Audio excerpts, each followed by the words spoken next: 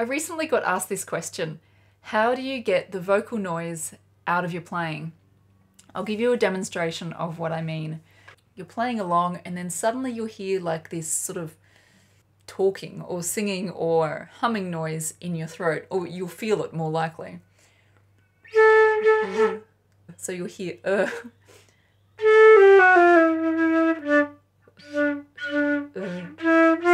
So that was actually a pretty bad demonstration because I'm so out of this kind of habit. I don't do this sort of thing anymore, although it has happened in my playing in the past. The reason this happens and you get sort of uh, noises as you play is because you have a constriction in here when you're playing. Now, this is not like the end of the world or anything like this. Playing the flute is a constant progression of removing all sorts of restrictions out of your body if you didn't have any restrictions and you had perfect playing, you would be like the world's finest flute player. And it's always a step by step journey, I guess, of getting a little bit better every time. So this is not the end of the world, but this is very exciting for you because there is a way to get rid of it. When you're playing, if you hear these noises, it means that you're starting to tense up in your throat. It is just like talking. So you're basically starting to talk while you play. That sounds weird. It's not weird.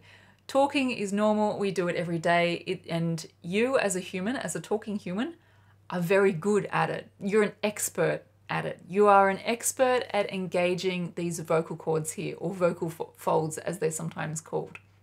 You are an expert at it. So it's no wonder that it happens so easily for you as you play.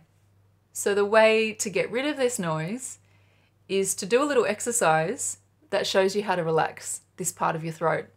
When you breathe in, and do it now, I want you to tell me which part of your mouth, tongue, throat, roof of mouth gets cold. Which one has the air hitting it, in other words. So take a breath when you play the flute, play a few notes. And tell me what got cold. Feel free to pause the video, try it out, and come back to it.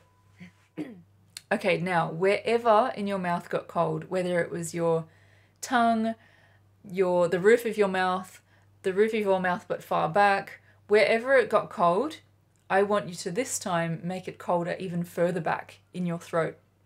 The aim is to get it cold at the back of your throat, as far back as you possibly can. So do the same thing, play a few notes. Breathe in, and aim for coldness way back at the back of your throat. It will feel like it's right down here. Try it a few times and see how you go. This is opening up your throat. Okay, so then the next step, once you can do that, is do it a few times in a row while playing. So choose an easy scale that you don't have to think about.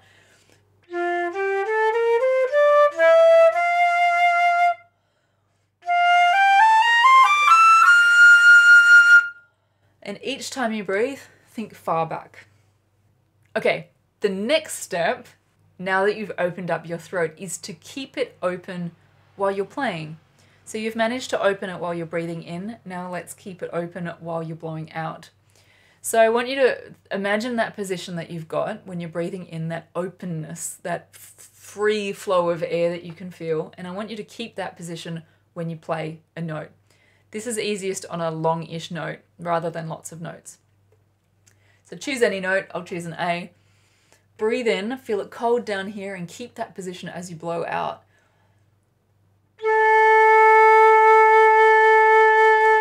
Even through the note, see if you can feel your throat and everything in your mouth opening up to get a more, what's a more resonant cavity, but more to the point where removing restrictions in your throat.